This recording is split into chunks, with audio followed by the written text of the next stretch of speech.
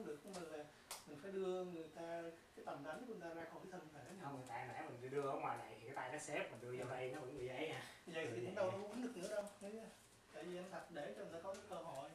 À vậy thì làm sao nó Rồi, em cho em bên này ha. Đúng rồi. Dạ. à. Đúng rồi. Ừ, chỗ nè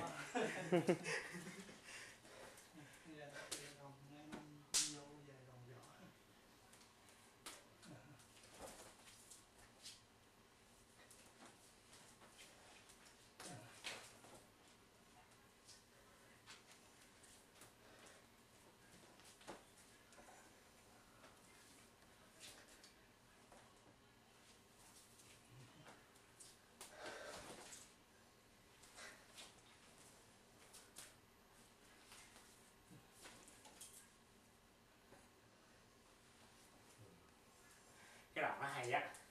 Hồi nào giờ mình cứ quen mình chụp lên mình kéo không à. Ha hôm nay mình cứ gập nhẹ lên thôi cái gì? Đúng rồi cái đó ta nhai ta tới mình chọc cái đèn này lại chơi cái kia tới nữa. Thả người tới. Đánh cái đó là ta quay phim thì đâu có biết cái đó là cái gì